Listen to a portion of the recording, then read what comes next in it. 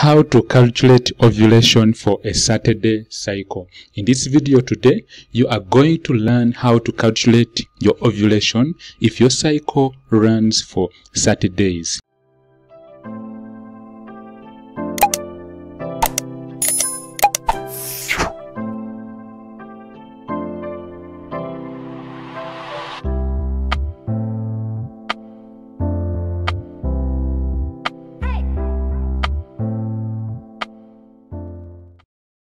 Gerald Massa, the health educator, is the name of the channel. Remember to subscribe for new videos we put out every day. Without further ado, the ovulation cycle for a Saturday calculation specifically begins with us having this example. We are taking an example of the month of August and assuming you started your periods on 3rd and then you saw your periods on 4th and then you saw your periods on 5th let's say a short three days in your periods. If we want to calculate your ovulation date or the date when you are most likely to get pregnant, the day when you are releasing a mature egg, also known as a graphene follicle, let's say we have to begin counting from the first day you saw your periods. If you saw your periods on 3rd, you saw your periods Sorry about that. If you saw your periods on 3rd and then 4th and 5th, we're just taking this as an example. It could be any other day.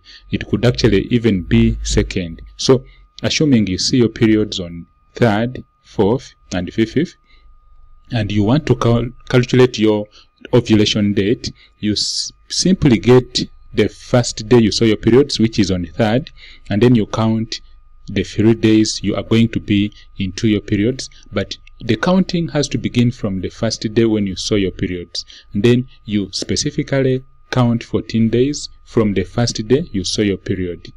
Remember once again we've said that you saw your periods on 3rd you saw it on 4th and then you saw it on 5th so count 14 days beginning with the first day you saw your periods. So we shall say 1 2 3 4 5, 6, 7, 8, 9, 10, 11, 12, 13, 14. So the 14th day, which is actually is going to be a Sunday on 6th, uh, on 16th, the 14th day is your date of ovulation. Specifically, this is the day when your hormones, that is uh, luteinizing hormone and estrogen are at their maximum. When we look at the ovulation calendar, you'll notice that during the 16th day, your hormone, that is the luteinizing hormone and the estrogen hormone are at their peak. This is the date you are ovulating and this is the date you are most likely to get pregnant.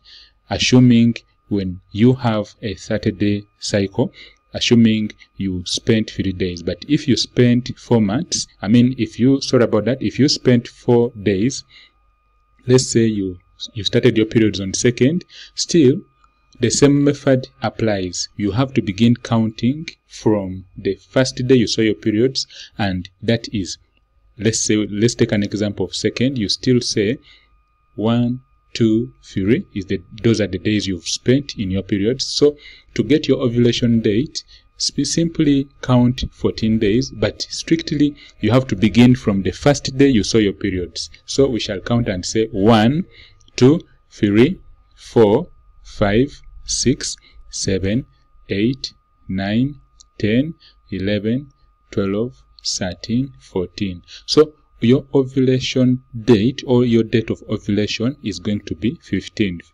The formula is that you have to begin counting from the first day when you've seen your periods, then count 14 days. It doesn't matter where the date is going to fall, but you just have to count 14 days. If you saw your periods on 9th, still you just have to count 14 days and you shall we shall say 1, 2, 3, and then of course those are the days you are in your menses we go back to the first day you saw your periods and we shall count and say one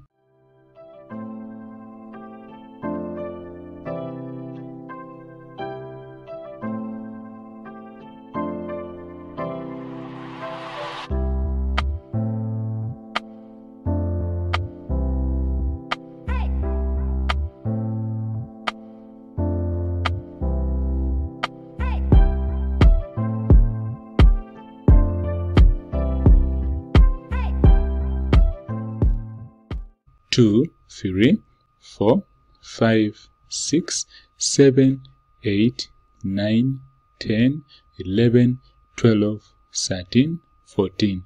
So still your date of ovulation is going to be on Saturday 22nd, assuming you started seeing your periods on 9th.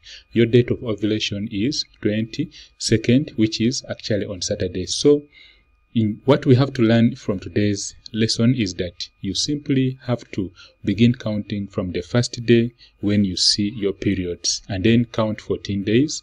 On the 14th day, there is an allowance of three days upwards and then there's an allowance of three days backwards. In other words, if your ovulation date is 19th, taking this as an example, we have to, we give an allowance of three days back and then three days in front. The main reason for this is that the two hormones, luteinizing hormone and LH, when they rise, they rise over a period of time. They rise uh, over a period of number of days. You can never tell because when the egg is released, the female egg is released, it lasts for at least 12 to 24 hours, whereas a male sperm survives for at least up to 5 days. So, to increase your chances of getting pregnant, if your ovulation date is on 19th, it's always advisable that you be with your partner, play sex around the, the, the two days prior to, one to two days prior to. If you're seeing your ovulation, if your ovulation predictor kits are telling you that yes, your LOH or the luteinizing hormone levels are high, the cervical mucus is thick and sticky, your basal body temperature has risen, all these are indicators of ovulation. So it's advisable that at least you be with your partner one day or two days prior to. You could actually be together for the whole of this week, for the whole of this period. The chances of getting pregnant are really increased. Gerald Massa, the health educator, is the name of the channel. Let me know if you have any questions. And as we are summarizing in today's video, we've talked about the calculation of ovulation date or the, the calculation of the date of ovulation for a Saturday cycle. And we have said that if you started your periods on this date, this date, and this date, you calculate your ovulation date by simply beginning from the first day you saw your periods and then count 14 days. It doesn't matter where the 14th day is going to fall. It could actually be here. It could be, you count 14 days and then on the 14th day, add 3 days in front, 3 days back. That is your fertile window. The days you are most likely to get pregnant. And then the 14th day specifically is when the egg is released or is when ovulation occurs. Thanks a lot for staying with me for this for this far, and I hope you've learned something. Let me know what you've learned in the comments. Ask me all your questions. I will answer them personally. But please, this is our challenge for today. Let me know what you've learned in today's lesson and please remember to share, subscribe for new videos I put out every day. Gerald Massa, the health educator, is the name of the channel and please share with me connect with me on all my social media handles but also you could also submit all your questions. If you want to talk with me personally on my whatsapp it is plus two five six seven zero one seven nine seven eight seven six. That's my whatsapp is plus two five six seven zero one seven nine seven eight seven six Subscribe for new videos I put out every day. You'll be the first to get the videos I put out. May God bless and protect us all. And please see you in my next video. Bye bye. Thank you, my friend, for attending today's lesson. I hope you have learned something. And please, if you have any questions in regards to what we've just discussed, leave your questions in the comments. Ask me your questions. I will answer all your questions. On this channel, Gerald Massa, the health educator, I talk about women's health. Have yourself a fantastic and healthy day, and may God bless us all. Bye bye.